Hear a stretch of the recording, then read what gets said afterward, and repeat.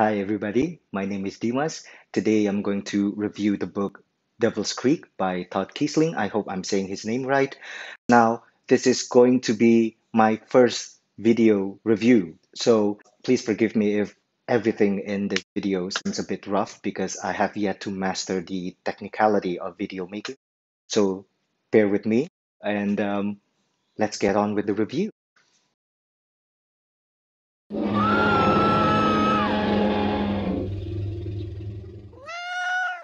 Now, Devil's Creek is a horror novel, or more specifically, a small town cosmic horror novel involving death cults and childhood trauma and religious extremism and many, many other horrible, horrible things that I cannot mention here because I don't want to spoil the fun. Now, fun horror is the kind of horror stories that I gravitate towards because in fun horror, there's a sense of thrill, there's a sense of excitement, and there's a sense of humor, even, so that the story doesn't have to be tense all the time. For example, movies like Scream and the Conjuring series and the Final Destination series are the type of horror movies that I find to be fun, you know, fun horror movies. Whereas for books, I would consider Rats by James Herbert or The Troop by Nick Cutter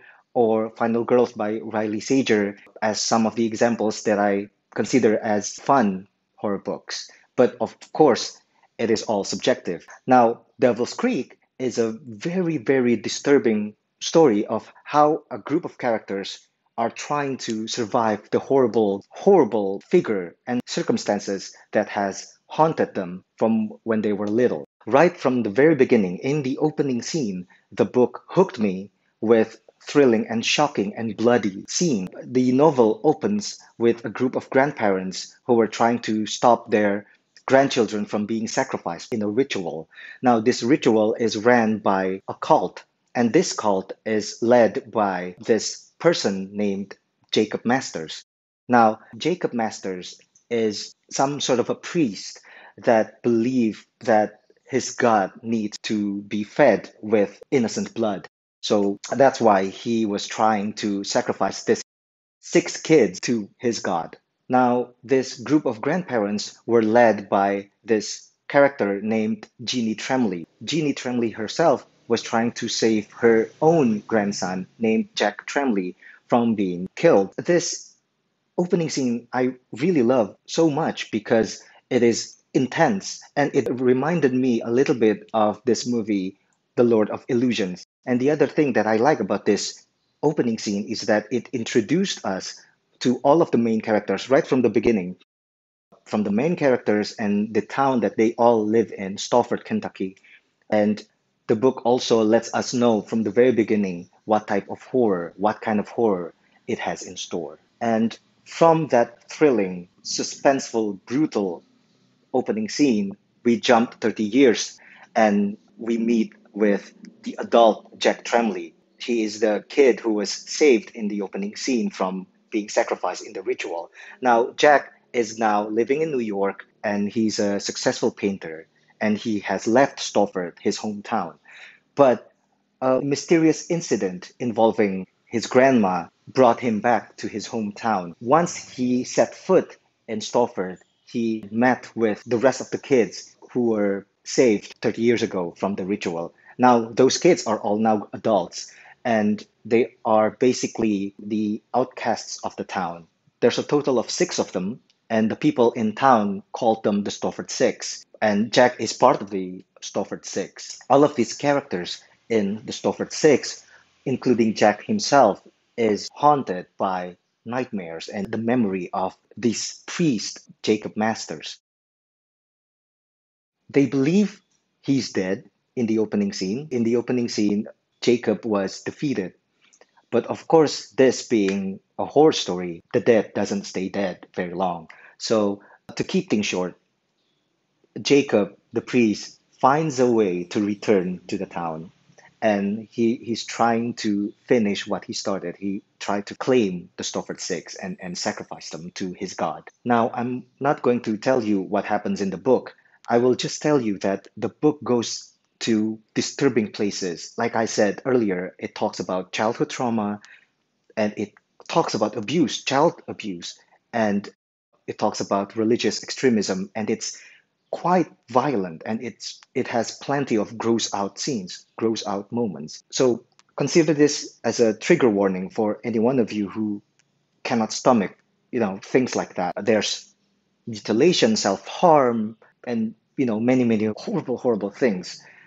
Now, I don't mind violence and gross out scenes in horror stories because I understand the one of the objectives of horror stories is to scare you. However, I there's a time when I was reading the book when to me it becomes a bit too much as those scenes that I've mentioned come one after the other, especially the gross out scene. It comes repeatedly, especially in the third act.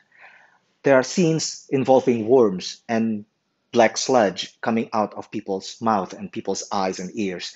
And they were played out repeatedly to the point that it, I think, it does not give uh, the intended impact anymore. However, I must say that the writer has successfully made me care about the fate of all of the main characters. There are more than two main characters, and they are all fantastic. I mean, their personalities are well defined. We immediately understand what their hopes and fears and ambitions are, and it made me sympathize with them instantly.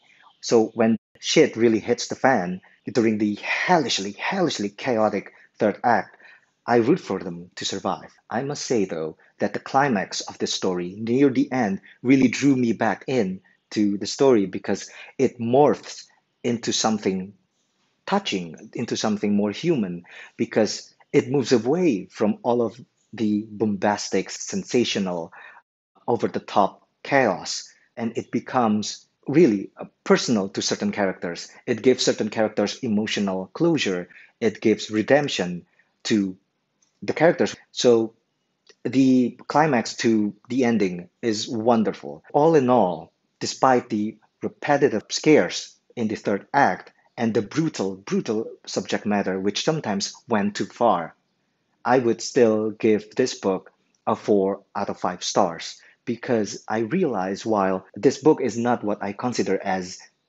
fun horror book, it has some things that I find can be quite lacking in other horror books, which is great characters, and most importantly, strangely, heart, especially during the climax and all the way to the ending. So it really does end on a wonderful note, which made me love it at the end of the day. So yeah, that's my review on the book Devil's Creek by Todd Keisling.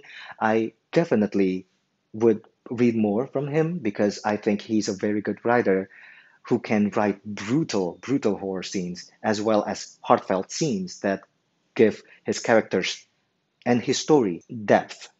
So, if any one of you have read the book, please let me know what you think of it and share your opinions or comments down below. I know the book has gotten great, awesome reviews on Goodreads and Amazon. That is what made me curious to check out the book in the first place, and I was not disappointed. It's a it's a brutal read. So that's all from me. Thank you for watching, and I'll see you again in the next book review video.